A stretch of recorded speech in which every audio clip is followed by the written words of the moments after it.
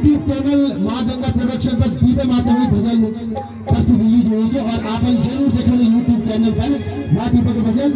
अब रूढ़िमा को गीत आपका विधान सचिव